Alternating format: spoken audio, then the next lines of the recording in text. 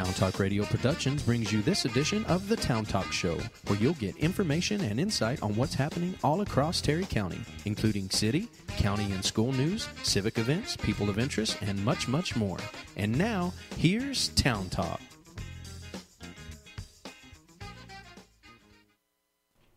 Good morning and welcome to the Town Talk Show. This is Kelsey Slaughter, and I have Danessa Churchwell with me this morning.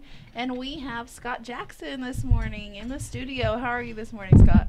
Doing good, Kelsey. Good, good. We're glad to have you. Thank you. Before we get into all of the exciting things you have going on, we're going to take a short break and we'll be right back. Stay tuned. When you leave this life, how will you be remembered? The legacy you leave will not be measured in dollars and cents or by years lived, but rather by what you accomplished with your life. The measure of our life is not its duration, but its donation. We are here to help your family when you lose a family member. Ratliff Funeral Home in Seminole, Denver City, Seagraves, and Brownfield. We're here for you.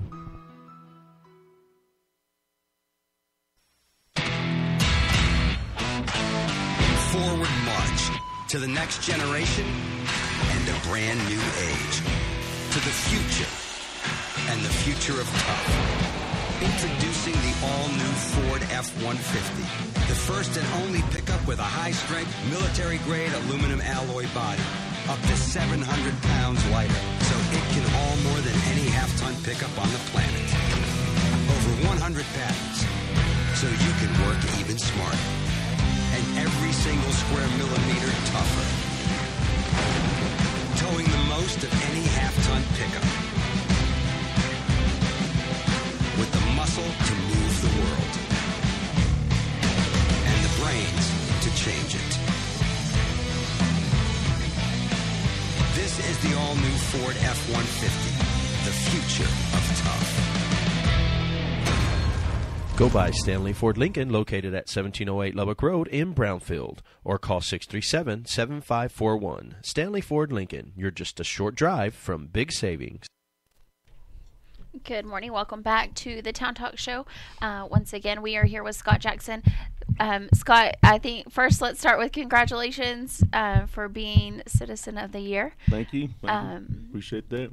Do you? We can talk a little bit about that. I could probably. I didn't tell you that we were going to talk about that. But um, so how did that feel getting that award?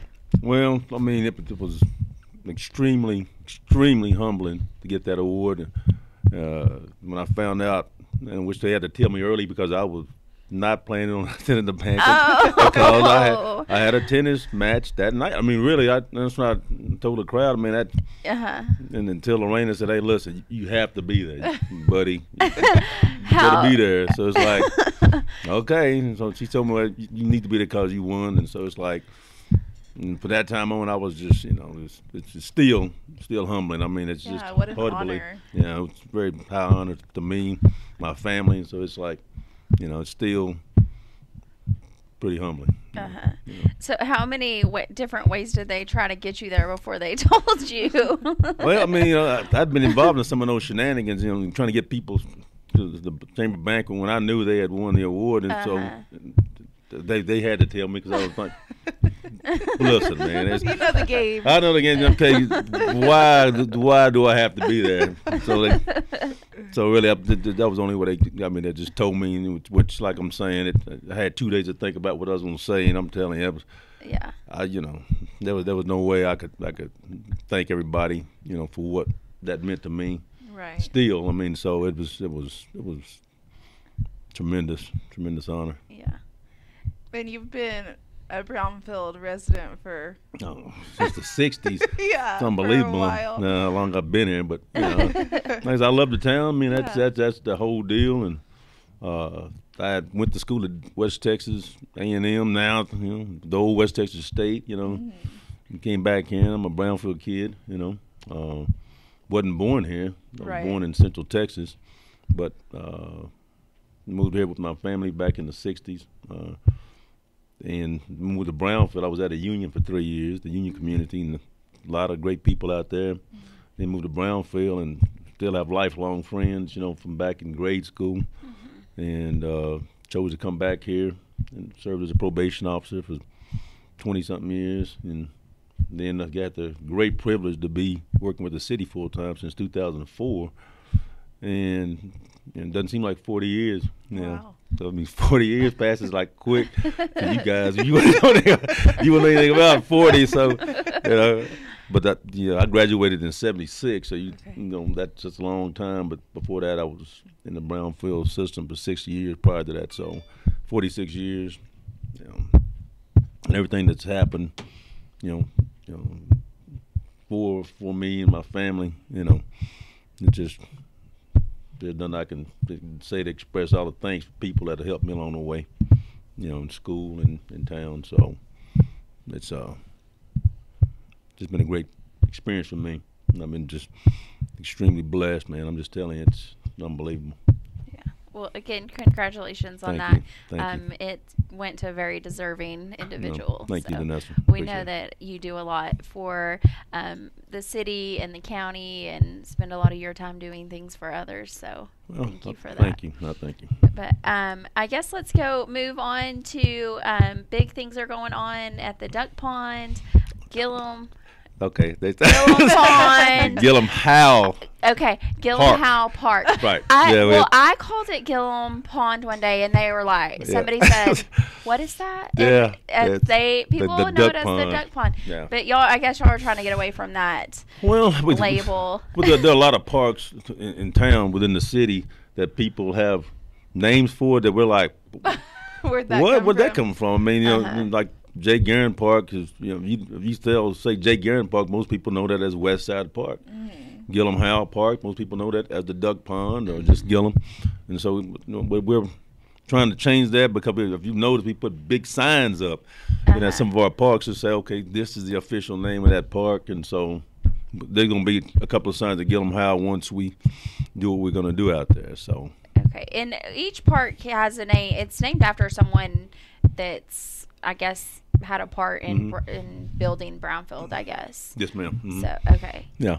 And most of the parks, I think, uh, Jay Guerin Park is a memorial for, for Jay Guerin, the old city manager. Of course, Rolf Franco Field is uh, the memorial for Rolf Franco, who was a, a, a top softball player back in, in the day. Uh, Judge Ryan Trail, named after uh, a pretty uh, uh, notable judge here in Terry County. Uh, of course, Gillum Howe, that's the uh, subdivision of that property out there Oh, where that neighborhood is, named after after the Gillum and Howe families. And uh, uh, going down on the Hamilton Park, of course, you know the Hamilton family did that. So most of the parks are named after someone or a family who who's contributed either money or some type of uh, uh, influence in the community. okay. So what's going on at Gillum Howe Park? Thank you. well, we, I, I think the public works director, you know, Willie Herrera, uh, gave a really nice presentation to the city council here about a month ago when he kind of laid out what, what our plans are for the future and what we're doing right now. If, if you've been out there and seen some, some dirt work being performed out there, what we're doing is laying a pad for a potential parking lot, you know, uh, going forward. And a lot of the things that we have planned are going to be contingent upon you know certain conditions out there. And I think uh, what Mr. Herrera explained to the council was that you, you can only do so much because of, of the water that's right to the um, southeast of what we're doing with the parking lot, because you can't you can bring dirt in on the high on the high part and, and things to build a parking lot, but you can't do anything else with what we want to do because you have to wait until that, that pond on that southeast dries up so you can start accessing that that that soil and move it around. And so our plans, you know, and uh, he, he was pretty uh, explicit about it, is to put a bathroom facility there uh, and uh, another uh, picnic area and a playground. So those are the things we're, we're working on right now, but they're going to come in stages. But for now, then just just the parking lot pad is going to be the thing that we're going to get done, and then uh, everything else will be contingent upon the conditions out there. So it may be a while, and people say, "Well, don't y'all do anything else?" It's a process. First things first, yeah, it's a, pro- it's a process. So Now we, you- oh, Go I ahead. apologize. Y'all No. have already got started because the playground is gone, correct? Yeah. mhm, Yeah. Yeah. And so you're already implementing, preparing the land for the parking lot. Yeah, what I, the playground that we removed out there was like, man, you know, I hate to use the word dangerous. Yeah. but now that it's gone, we can use that word mm-hmm. because it was it was it was old. And if you've been out there, it was old wooden structures, which we tried to get rid of throughout town. You know, because we a lot of the parks were you know made of the wooden structures, the climbing structures, all that stuff. You could you know have you get your fingers pinched off pretty Yeah. easily, and you know, so we removed it.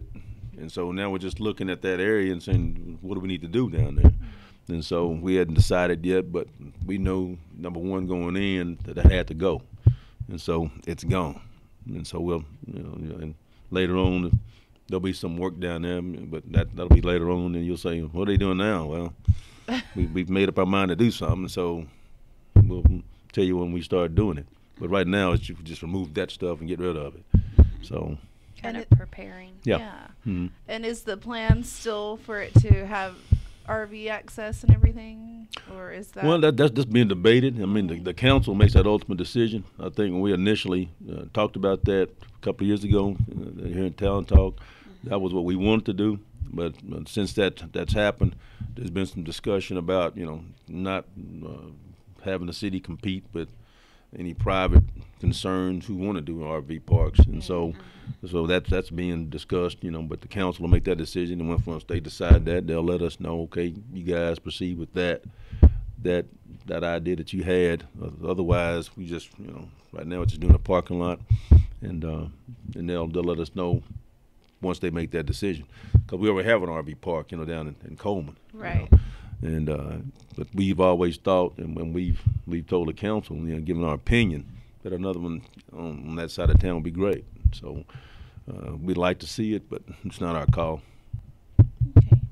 And what about with the actual pond? Is that going to be um, changed at all? Is that going to have anything redone to it, or? Well, we had look, we had looked into uh, a dredging that pond. I mean, if you- you've been out there, you know, you've seen all the ducks that are out there, that, it- you know, well, I try not to go there because of the ducks. well, yeah, the duck. Well, the ducks, you know, they, they, you know, it's over time, you know, that that pond where it was deep now it's not so deep because you know the ducks, you know, do their business, and so you we, we have to look at dredging that thing, you know, just to mm-hmm. kind of clean out all Right. that stuff. So that's if anything is done to that pond, that's that's what we're looking at, and that's that process is pretty expensive, man. I mean, you're talking about a major effort to go out there because you have to transfer water, man. You got to move water from one pond to the next and dredge, then you got to put it back. And, you, and so, you know, and those guys who do that, they're pretty specialized and, Right. and it's not cheap.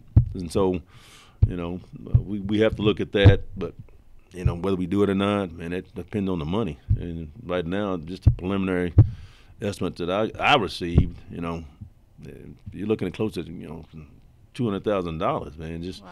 Just in the neighborhood, just to kind of go out there and do that. So, yeah, that, that would take a big chunk out of what we want to do you know, for the park in the future. So we have to, the council can make that decision. I mean, they they can say, hey, forget all the other stuff, get that thing dredged. Okay, so we'll we'll follow their lead on that. And did I remember correctly? Aaron Sims said that you guys stock that pond with fish, or Well, uh, uh, those guys do. Aaron Okay, Sims, okay. they, arrange for that thing to get stocked, you know, periodically, and that they make the decision, to, you know, based on their numbers. I mean, they, know, we don't make that call. You know, they can say, hey, man, we're sending in the, the fisheries department to, to restock your lake. You know, restock the pond. They they show up in a truck and they shoot the fish out there, man, out of a hose. yeah, really, man. I'm looking and watching like, what are y'all doing? can you call us when that happens? Oh yeah, man. You, you gotta be like, oh, those fish. That's what we do. Like, those fish. And they just shoot out of, out of that tube, man. It's like Oh, it's something. Yeah. And they kind of go from pond to pond. They, they and they guess they got some type of deal that tells them how many fish that they're shooting into the pond. Then they after they shoot so many in this one pond, they'll go to the next one, and they'll put the hose out there in this big tube, and they'll shoot them out. Then they'll go to the next one. And so. Yeah, I'll call you, man. You guys do your thing. Are you, is this crazy? Yeah, it's crazy. But they do it. So Huh. It's interesting. yeah, yeah. Well, let's go ahead and take a short break, and when we come back, we'll get more details on everything going on with our local parks. So stay tuned.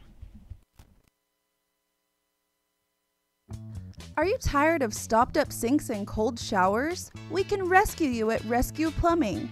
Cody Churchwell has over 20 years of experience in the plumbing business and provides quality work at a reasonable price. So whether you need installation or a complete bathroom remodel, call Rescue Plumbing at 806 891 9617 and get a free estimate today. And don't forget to like us on Facebook at Rescue Plumbing LLC. Rescue Plumbing, ready to come to your rescue anytime, any place. Hey, uh, let me finish this text. Okay, I'm good. If you're like me in the morning, you're busy. Sorry, I had to shave and brush my teeth. Like I said, busy, busy, busy. Ah, that was a nice shower. But one thing you should never be too busy for in the morning, okay, pal, fetch, is a real breakfast at McDonald's. All right, now we gotta run, literally. Training for a marathon. Make a busy morning better with a real breakfast, like a classic Egg McMuffin sandwich, crispy golden hash browns, and a freshly brewed McCafe coffee. Hello, can't talk now, I'm busy. Yep, doing a jingle. Ba-da-ba-ba-ba. At participating McDonald's. Get on down to your local Kubota dealer today, where the deals have never been hotter on new Kubota tractors. You can get low payments for up to 84 months with 0% APR, incredible customer instant rebates, and a six year limited powertrain warranty on new BX, B, L, and MX tractors. There have never ever been deals like these. Now through December 31st, 2016. Call toll free 1 800 794 4992 for details about costs and terms. For complete warranty details, see Kubota.com or your authorized Kubota dealer.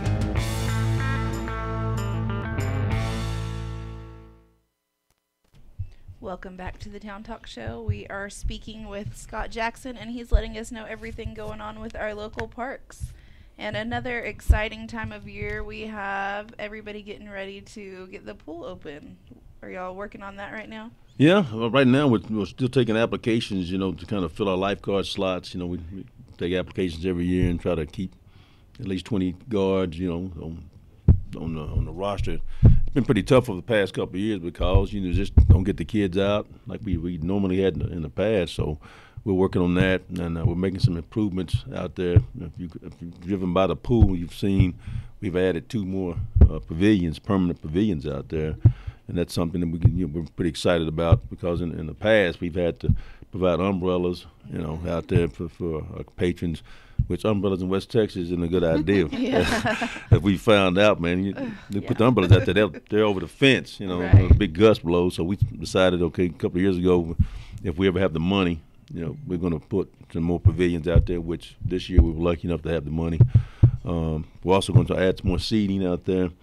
Uh, so there'll be some additional uh, chairs and, and, and tables out there for our, for our customers because that's that's something that they said they needed out there. 'Cause when we're busy, we're busy. You know, there's not enough chairs, and we have 160 chairs out there. Yeah. And so we've had to add at least you know 40 more chairs just to accommodate our customers, and so I think they'll notice that right off and appreciate that. Besides the uh, the pavilions, um, we had looked to uh, add some more water features, but some different ones, but but uh, our money ran out, so we're not going to do that this year. We'll probably wait till next year to get that done. But uh, we're gearing we're gearing up, you know, so we ought to be all right you know, in the next month or two. We'll probably start adding water in it uh, about May the first. Once we get the uh, the pool repainted, we have to repaint the inside. So our guys will be out there grinding and getting that prepared to paint. You know, probably by uh, the end of this month, and we'll have it painted hopefully by April fifteenth, and then have water in it by May first. And then when do you guys uh, officially open? Honestly, uh, do you guys know when the last day of school is? Is it Um, like the 19th or 20th, something like that of May. okay? But well, then then they have the because they have the Brownfield has the extended, Extended day schedule. Yeah, so Mhm. then some kids will get out mid May, some will get out first of June, Mm-hmm. and then I think Meadow and Wellman run middle of May as well. Okay. Well, whenever, whichever weekend it is that the school officially ends, it'll be that first Saturday Okay. of the end of May. I guess we always try to you know open up before the first of June. Okay. You know, depending on the weekend. You know, so somewhere around the 27th, 28th. I'm thinking, just off the top of my head. Okay. Somewhere around there. I don't know officially once I look at the calendar and make that call. You know, but right now around the, the end of May. And for your lifeguards, what are you looking for if someone wants to apply? Uh, uh, do they need to already have their lifeguard training? Do y'all provide that? How does that Well, work? uh, Betty Monger out of Sundown does our she does our certification training, and she's been doing that for years. She's really good at it, and um, if anybody needs to contact her, just give me a call at my office, and I'll give them the number to call Betty. And she has, matter of fact, she has some certification classes coming up next week during spring break, and then she offers about two more classes in April. So if anybody's interested in, in doing that, just give me a call. I'll give them Betty's number, and then she can kind of explain, you know, those dates where she's available to do that certification training. So, but there'll be at least four classes where that's that's available. And she'll do that training for them. And is there an age limit? 16. On 16. I had a No. 14 year old. I was gonna. Uh, he's in there.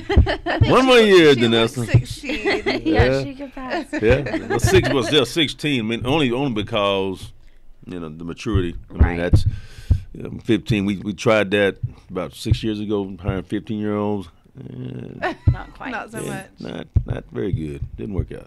I mean, it's just just because of you know the, the size. I mean, Right. fifteen year olds uh, mm, a lot of times aren't very big. You can get some big ones every so often, but they just can't.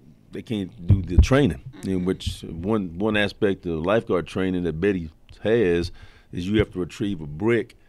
You know, on the 11 foot of water, you have to swim down there, get this brick, and then swim back up with it. And, uh, you know, Takes you- some strength. yeah, it takes some strength, and a lot of 15 year olds just aren't up to it. And mm-hmm. so that's why we had to up that age to 16, just because you know just the, just the size aspect of it. So you know, And how many lifeguards do you keep on like on rotation at at the pool at one time? well, they're they're doing the the time we're working. Let's see, six, eight. Eight. We have eight there normally. You know, uh, from one to six, with two two people rotating at all times. And so, you know, there's always six guards in the, on the stands, and then two who are there, who give them a reprieve. You know, so they kind of get in the rotation, and then that way each guard gets at least 45 minutes off. You know, during that process. And uh, I was talking to uh, an individual the other day about they were saying, "Oh, that, that that pool, that lifeguard deal seems like a pretty good gig." I'm thinking, you thinking until you sit in the sun for about six heat, hours. Right. Yeah. You know that yeah, it sounds fun, Yeah. which it is, but you know, it's work, man. You out in that sun. uh, It's it's, It's that, I, those kids have my respect because you're sitting out there, even though you might be shaded. Well, for six hours, you, you're looking, man. You're concentrating, Yeah, you have to be alert. and you have to be alert, and you know. But that sun beats down on you, Yeah. and it, it it's just tiring, man. And so when people say, "Hey, that sounds like a cush job," well, it's- anything sounds like a cush job. Yeah. You're out there sitting in that stand, you're looking, you're like scared to death that somebody's gonna start drowning, Yeah. and, and you're sitting in that sun, you know. And uh, but we try to keep you know eight on eight there at the pool, and the two in the rotation. Then twenty something guards on a roster is, Right. is not bad because then you know you can you know kids can work and get some hours and not be just run down because last year we ran out of guards the last two weeks of the season and we only had like seven guards available for two weeks. Now you you you, would- you would think that doesn't sound too bad. Oh it's bad because they had to work seven days a week. Yeah. you know th- there was no calling in saying I can't come in because if we'd had one guard calling say he couldn't make it we'd have shut down mm. just because you have to maintain a certain number. And so those seven kids that, that kind of stuck it out man it was like that was tough, and they, they got my respect, man, because that I was there with them, just sitting in the concession stand and, and watched it, you know, because one one person has to be on that that slide, and there's no shade up there, Yeah. you know, and uh, you know it's tough, but like I say, they they lasted out, and so if we can get 22, we'll be we'll be in good shape. Um, and off the top of your head, do you know the cost to get into the pool that it's going to be this year? same. Be the same. Okay. All right. Well, before we close out, is there anything else coming up that we need to address that we haven't touched on? Well, we put uh, we're planting trees out there in the park. If you Oh, if you went out to the party house, we planted ten trees out there. We had planned to plant, plant at least seventeen around the party house, but of course, you know, budget you know constraints. We only could put ten. But if you go out there, you'll notice there'll be there's ten trees that we recently planted around the party house, and then the mayor uh, donated two oak trees that he we planted out there. So if you're out there around the party house, you'll say, "Man, those trees, yeah." That's just, that's just a start. So hopefully next year we'll plant an additional ten, and as trees are getting knocked down, we have to replant. So we'll be doing that in the next, you know, three to four years is replenishing our trees out there because a bunch of them are old and sick and they're, they're falling over because of high winds or we have to knock them down. So you'll see that we'll be planting trees out there the next three to four years. Just so it'll be just young trees out there. So Y'all also recently put up a pavilion, I believe, at Hamilton Park. uh, Is that right? Jake Guerin. Jake Guerin. Okay. Well, that that was a Hamilton family. It was Linda Okay. Linda Guerin and her husband Joseph Shoemate who uh, donated that money as a as a memorial again to Jake Guerin. And so, if you go down there, you'll see a very nice, very nice pavilion out there, twenty by twenty uh, structure, and uh, it's very nice. And so, uh, they wanted to kind of enhance that park and a memorial for Jake, and they they've done that. I think they want to do some, some other things. They they plan on uh, presenting the city with uh, with bronze plaque, you know, to Jake Guerin. Uh, they used, there used to be one down there, but then vandalism they they destroyed it, so uh, they're going to replace it. So you'll you'll be noticing that in the next six months. They're supposed to do something like that, and then I think they want to do a big kind of like commemorative event to say, okay, Okay. for Jake Guerin. So that's that's probably coming within the next six months, maybe this spring, sometime. Okay. Well, uh, thank you so much for coming in this morning. We are always excited to hear what you have going on. You always uh, make sure Brownfield looks nice and has good things going on, and we're so proud for your award. We think it's very well deserved. Well, Thank you, guys. Appreciate it. And for the Town Talk Show this morning, this was Kelsey Slaughter. And Danessa Churchwell. This interview will be up on our Facebook page if you missed any of it. So check that out on Facebook and have a great day.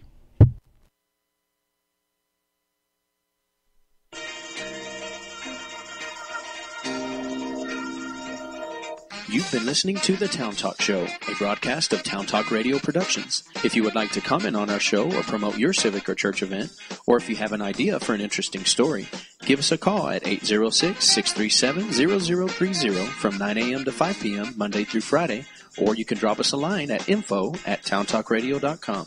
You can also follow us on Facebook. Thanks for tuning in and have a great day.